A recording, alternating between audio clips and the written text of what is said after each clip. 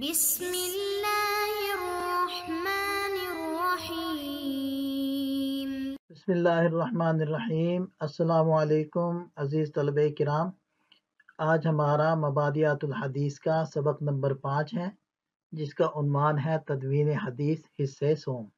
آج کا سبق شروع کرنے سے پہلے گزشتہ سبق کا خلاصہ ہم ایک نظر دیکھ لیتے ہیں۔ یہ ہمارے گزشتہ سبق کا خلاصہ ہے، جس میں تدوین حدیث کے قدرتی عوامل۔ یہ مرکزی نقطہ تھا اور بقیہ چھ نکات اس میں ذیلی تھے۔ سبق نمبر پانچ، ان چھ نکات کے اوپر مشتمل ہے۔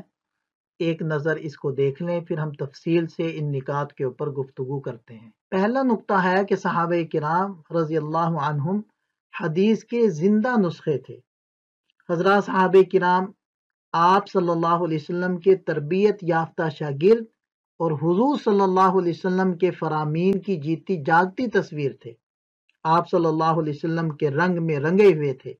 لہذا تدوین حدیث کی پہلی صورت تو خود صحابہ کرام کی زندگی تھی۔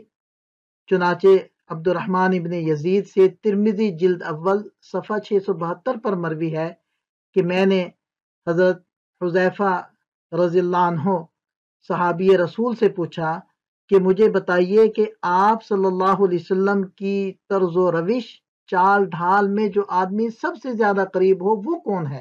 تاکہ میں ان سے ملوں، ان سے علم حاصل کروں، حدیثیں سنوں۔ تو ایک معاصر، دوسرے معاصر کے متعلق یہ شہادت دیتا ہے یعنی حضرت حضیفہ رضی اللہ عنہ فرماتے ہیں کہ اقرب الناس من رسول اللہ صلی اللہ علیہ وسلم کہ آپ صلی اللہ علیہ وسلم سے چال ڈھال وضع و انداز میں سب سے زیادہ قریب ترین آدمی حضرت ابن مسعود رضی اللہ عنہ ہیں۔ صرف انہی باتوں میں نہیں کہ جن کا تعلق شریعت و قانون سے ہے، بلکہ با صحابہ کرام تو آپ صلی اللہ علیہ وسلم کی زندگی کی ہو بہو تصویر اتارتے تھے۔ ابن عمر رضی اللہ عنہما کے متعلق عام طور پر یہ مشہور ہے کہ جن جن مقامات پر حضور صلی اللہ علیہ وسلم نے نمازیں پڑھی تھی، حضرت ابن عمر رضی اللہ عنہما ان مقامات کو تلاش کرتے تھے اور نمازیں پڑھتے تھے۔ راہ میں جہاں کہیں آپ صلی اللہ علیہ وسلم نے اپنی اونٹنی کا رخ پھیرا تھا، ابن عمر رضی اللہ عنہما بھی قصدن اسی مقام پر یہی کام کیا کرتے تھے۔ تو دیکھیں کیسے آپ صلی اللہ علیہ وسلم کو کاپی کیا کرتے تھے یہ حضرات۔ اور امام مالک رحمت اللہ علیہ سے ان کے شاگرد یحییٰ نے ایک دن پوچھا، کیا آپ نے بزرگوں سے یہ سنا ہے کہ ان کا خیال تھا جس نے حضرت ابن عمر رضی اللہ عنہما کے قول کو اختیار کیا، اس نے آ حضرت صلی اللہ علیہ وسلم کی اتباع کی تکمیل میں کوئی چیز نہیں چھوڑی؟ بولے جی ہاں۔ تو معلوم ہوا کہ صحابہ کرام کی زندگی کا بڑا حصہ آپ صلی اللہ علیہ وسلم کی زندگی کے قالب میں ڈھلا ہوا تھا۔ اسی بنیاد پر ہر صحابی کو حدیث کا ایک نسخہ قرار دیا جا سکتا ہے اور یہ کہنا یقیناً مبالغہ نہ ہوگا کہ عہد نبوت میں ہی ہماری وہ تاریخ جس کا نام حدیث ہے، اس کے کامل یا ناقص زندہ نسخوں کی تعداد لاکھوں تک پہنچ چکی تھی۔ کیا دنیا میں کوئی تاریخ یا کسی تاریخ کا کوئی حصہ ایسا موجود ہے جس کی عینی شاہد اتنی تعداد میں خود اس واقعے کے مجسم آئینے بن کر دنیا کے سامنے پیش ہوئے ہوں اور وقت گزرنے کے ساتھ ساتھ ان کی تعداد میں اضاف مضافہ اضافہ ہی ہوتا رہا اور ہو رہا ہے۔ اور دنیا کے کسی کونے میں نماز پڑھنے والا مسلمان یہ قسم کھا سکتا ہے کہ وہ اسی طرح نماز پڑھ رہا ہے جیسے آپ صلی اللہ علیہ وسلم نے نماز پڑھی۔ بات کا خلاصہ یہ نکلا کہ اس حدیث کے معتبر اور مستند اور محفوظ ہونے میں کیسے شک کیا جا سکتا ہے، جس کے زندہ نسخے لاکھوں کی تعداد میں موجود تھے۔ اب ہم دیکھتے ہیں کہ حدیث کا بہت بڑا حصہ متواتر ہے۔ حدیث کا متواتر ہونے کا مطلب یہ ہے کہ بغیر کسی انقطاع کے نسلاً بعد نسلین لاکھوں اور لاکھوں کے بعد کروڑ ہا کروڑ انسانوں کے ذریعے مشرق و مغرب میں منتقل ہوتا ہوا موجودہ دور تک پہنچا۔ ایسے ہی امت اسلامیہ کے تمام فرقے جن مسائل پر متفق ہیں، چاہے ان کا تعلق عقائد، ایمانیات سے ہو یا طہارت، عبادات، معاملات، عقوبات، سیاسیات، مباحات و محظورات سے سب کا یہی معاملہ ہے۔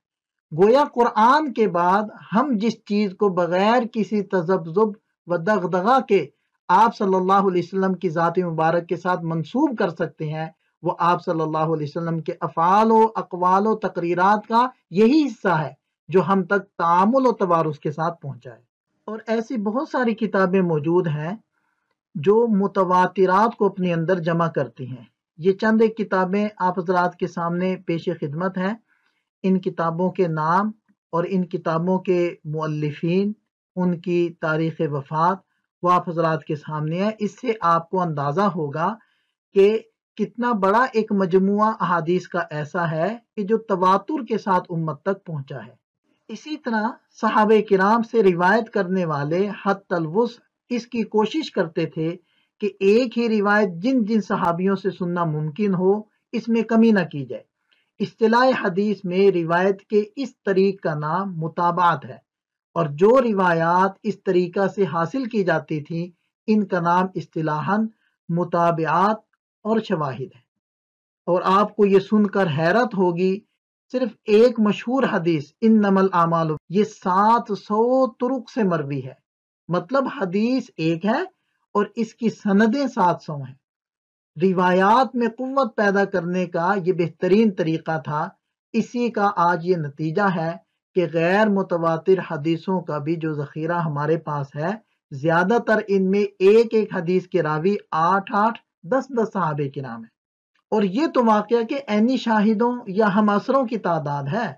بعد میں صحابہ کے شاگردوں اور ان کے شاگردوں کے شاگردوں کی تعداد میں جو اضافہ ہوتا چلا گیا، ان کا تو شمار کرنا مشکل ہے۔ پھر اس سب کے ساتھ ساتھ مدینہ میں مختلف قبائل کی جانب سے وفود کی تشریف آوری اور ان کا قرآن اور دین کے دیگر فرائض اور احکام کو احادیث کی مدد سے سیکھنے کا ایک سلسلہ تھا۔ ان وفود نے احادیث کا ایک بڑا مجموعہ اپنے اپنے قبائل اور علاقوں میں منتقل کیا۔ مثال کے طور پر یہ صرف ایک عبارت پیش خدمت ہے کہ اس میں دیکھیں کہ حضرت فروا یہ تشریف لائے ہیں حضرت سعد ابن عبادہ رضی اللہ عنہ کے پاس اور انہوں نے قرآن سیکھا اور دین کے دیگر احکام اور مسائل سیکھے اور پھر آپ صلی اللہ علیہ وسلم نے مختلف انعامات ان کو دیے اور پھر ان کو کچھ قبائل کے اوپر عامل بنا کر واپس بھیجا۔ اور یہ تو وہ احباب تھے جو خود مدینہ آ سکتے تھے، لیکن جو نہیں آ سکتے تھے، ان کے لیے آستان نبوت سے باضابطہ معلمین بھیجے جاتے تھے۔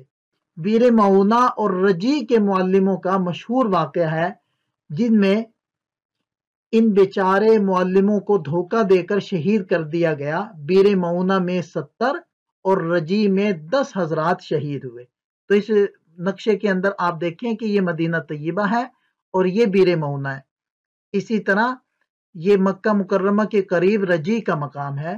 تو ان دو مقامات پر آپ صلی اللہ علیہ وسلم نے صحابہ کرام کو دین سکھانے کے لیے بھیجا۔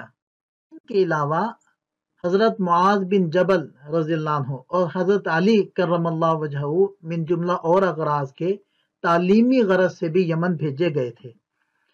اس نقشے کے اندر آپ دیکھیں کہ مدینہ طیبہ سے یمن کا ان حضرات نے سفر کیا۔ حضرت ابو امامہ باہلی رضی اللہ عنہ فرماتے ہیں کہ مجھے رسول اللہ صلی اللہ علیہ وسلم نے اپنی قوم کی طرف اس لیے بھیجا کہ ان کو اللہ تبارک و تعالیٰ کی طرف بلاؤں اور انہیں اسلامی قوانین پیش کروں۔ یعنی قرآن کے ساتھ ساتھ شرائع اسلام یعنی قرآنی احکام کی جو تفسیر حضرات صحابہ کرام کو خود حضور نبی کریم صلی اللہ علیہ وسلم کر کے بتلایا کرتے تھے، عہد نبوت ہی میں ان دونوں کی حیثیت مستقل علم کی ہو چکی تھی۔ پھر آپ صلی اللہ علیہ وسلم کے بعد جیسا کہ ہونا چاہیے تھا نہ صرف مدینہ منورہ بلکہ ان تمام مرکزی شہروں میں، جہاں جہاں اسلام کی حکومت پہنچ چکی تھی۔ اور حضرات صحاب کرام کی مختلف جماعتیں وہاں جا کر آباد ہو چکی تھیں، جن میں خود مدینہ منورہ، مکہ معظمہ، یمن، یمامہ، بحرین، دمشق، کوفہ، بصرہ، مصر کو خاص اہمیت حاصل ہے۔ ان علاقوں کو ہم اگلی سلائڈ میں نقشے کے اوپر بھی دیکھ لیتے ہیں۔ اس نقشے میں آپ دیکھیے گا کہ حضرات صحابہ کرام نے کس طریقے سے مختلف علاقوں کی طرف رخ کیا اور ان علاقوں کو دین کا مرکز بنایا۔ بحرین تھا، اس میں دمش تھا، اس میں کوفہ تھا، اس میں بصرہ تھا اور اس میں مصر تھا۔ یہ وہ تمام علاقے تھے کہ جہاں حضرات صحابہ کرام جماعتوں کی شکل کے اندر تشریف لے گئے اور وہاں جا کر علمی مراکز قائم کیے۔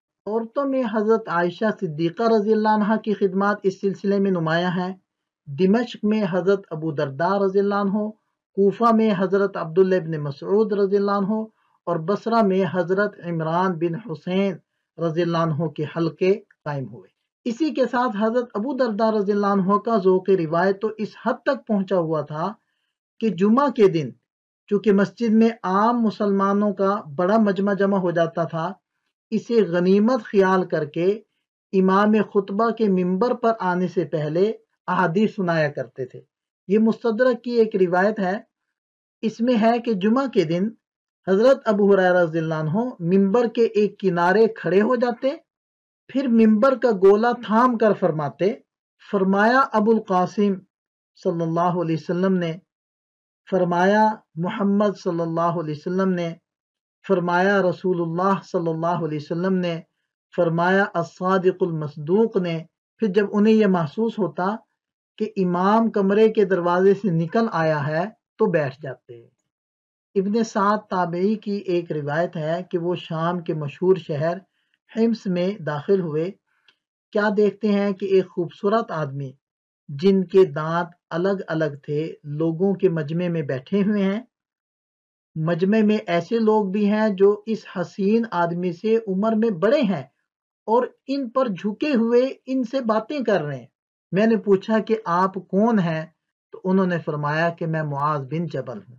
بسرا کا ذکر کرتے ہوئے ایک دوسرے صاحب کا بیان ہے کہ میں بسرا پہنچا اور مسجد میں داخل ہوا۔ کیا دیکھتا ہوں کہ ایک بوڑھے آدمی جن کے سر اور داڑھی کے بال سفید ہیں، مسجد کے ستون سے پیٹھ لگا کر ایک حلقے میں بیٹھے ہوئے حدیثیں بیان کر رہے ہیں۔ میں نے پوچھا، یہ کون ہے؟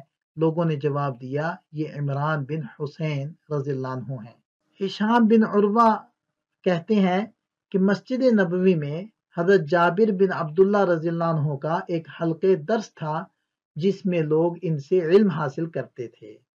اور یہ سب کے سب رسول اللہ صلی اللہ علیہ وسلم کے جلیل القدر اکابر اصحاب میں ہیں۔ اس کے بعد پھر کون کہہ سکتا ہے کہ فن حدیث کی حیثیت، عہد نبوت یا عہد صحابہ میں باضابطہ علم کی نہیں تھی؟ آج کے سبق کا خلاصہ ہم ایک بار پھر سامنے لاتے ہیں کہ دیکھیں حضرات صحابہ کرام حدیث کے زندہ نسخے تھے۔ اور ہمیں یہ پتہ چلا کہ حدیث کا ایک بہت بڑا حصہ متواتر ہے۔ صرف ایک ایک روایت نہیں ہے احادیث کی، بلکہ احادیث کے مطابعات اور شواہد بھی ہیں۔ اسی طرح نبی پاک صلی اللہ علیہ وسلم کی موجودگی میں مدینہ منورہ میں قبائل کی آمد جاری تھی اور وہ قبائل آ کر احادیث سیکھ رہے تھے، علم سیکھتے تھے اور حضرات صحابہ کرام کی جماعتیں بند بند کر مختلف علاقوں میں جا رہی تھی اور وہاں دین کے حلقے اور دروس قائم کر رہے تھے۔ اور خود حضرات صحابہ کرام کو حدیث روایت کرنے کا اور حدیث آگے منتقل کرنے کا کس قدر شوق تھا اور کتنے علاقوں کے اندر ان حضرات نے حلقے قائم کر دیے تھے۔ تو یہ دیکھیں کہ اس سارے سبق سے ہمیں پتہ چلتا ہے کہ تدوین کا عمل مختلف شکلوں میں خود نبی پاک صلی اللہ علیہ وسلم کی زندگی میں ہو چکا تھا۔ آخر میں ہم اس سبق سے متعلق چند سوالات لیتے ہیں۔ یہ تمرینی کچھ سوالات ہیں، ان کو آپ حضرات نے حل کرنا ہے۔ ملتے ہیں اگلے سبق میں۔ اللہ تعالیٰ ہم سب کا حامی و ناصر ہو۔ السلام علیکم۔